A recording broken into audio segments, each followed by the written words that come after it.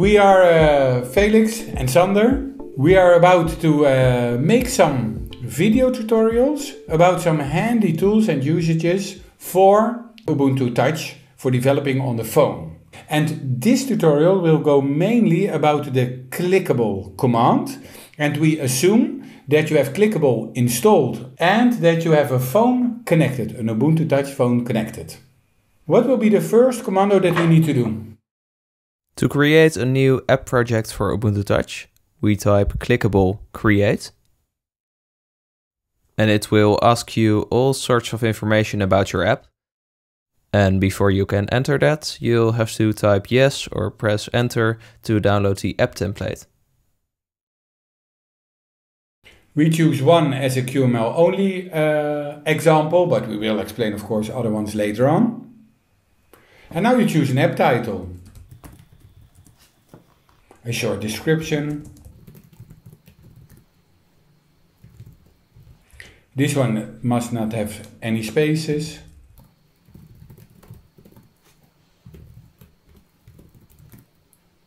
This one we do one.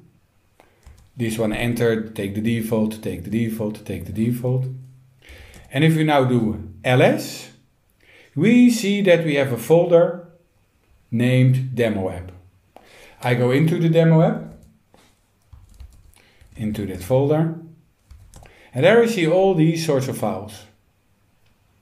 What do I need to do next?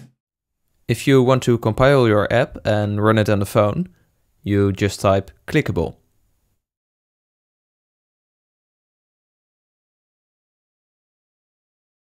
Right now it's compiling and it pushes the app through ADB to your phone. Yeah, now it's running on my phone. What else comes in handy? If you want to debug your app and see the logs of the app running on the phone, you type clickable logs while the app is running. And there are the logs.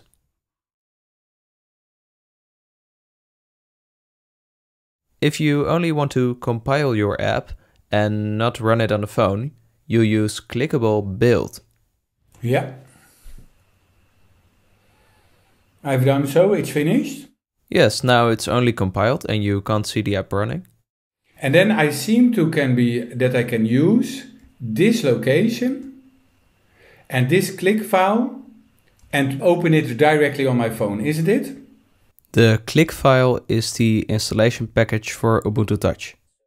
So if you want to install your app on your device, you can use this click package or you can use this package to publish your app and you might notice the all part there. Mm -hmm. This is a QML only app. And just with Clickable, you could choose a template, uh, QML only, an app with Python, HTML, and many more. QML apps are architecture agnostic. So you compile these apps and they can run on any architecture. And for example, there is also a template where you can choose an app with C++. And when you compile an app with C++, you have to specify an architecture. Mm -hmm. So could you please create a C++ app, for example? That's fine. I do. I go one folder higher. So I'm here, and I do now clickable uh, create to create a new project. I want to re-download it, so I type enter. And this time I do two C++. C, pp, app, C plus plus app, oh, little typo, but we keep it. Uh, CPP, app, Sander this time, Sander, Felix this time, Sander, at ut.nl. One, fine, fine, fine. I have to go into that folder, which I am now. And if I do only clickable now, everything seems to go okay. But it ends with this warning, unable to start app. If you look closely to the click package it has built, you'll see AMD64. Because by default Clickable will use the host architecture of your computer. And I assume that you have an AMD 64 computer. Mm-hmm. So it has built a click package for AMD 64, but your phone can't run it because it's an ARM64 device. Mm-hmm. So we're going to cancel uh, this command Mm-hmm. and type clickable dash a ARM64. Now clickable will compile this app for uh, ARM64. Yeah, now it is running on my phone again. Very good. Are there uh, different types of uh, architectures or are all the phones like uh, ARM64?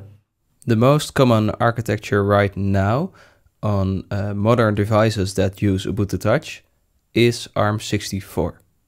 But there are also quite a few uh, supported devices with ARM HF as an architecture. These are mainly the older Ubuntu Touch devices, but when you develop and publish an app, it's always a good thing to build it for that architecture too.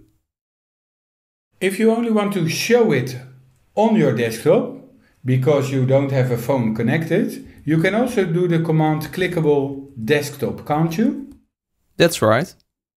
So if I now run it, I see it popping up on my screen. I see it is now on my screen right next to your command line and it is like an uh, emulator and here you can uh, see the logs. It is a small the small default program that he made for you. So with clickable space desktop, then you can have on the desktop shown what a phone would do. Yes, and this is not as complete as running the app on your phone directly, because you're missing the device sensors or camera, for example, if you want to use it. But it's a good way to speed up development and quickly test your app. I also noticed that you uh, recommend sometimes clickable clean. Yes, if the build progress is not going well, you can use clickable clean to clean the build directory, and you'll end up with a clean build directory uh, to build your app again. That seemed to me to be the like most important clickable features, right? Yes, I think we've mentioned the most important clickable commands. Maybe we'll come back on some more obscure commands in a later video. Yeah. And if there are any uh, questions or additions, please add them to the recommendations. Okay. Look forward to see you next time. Thanks.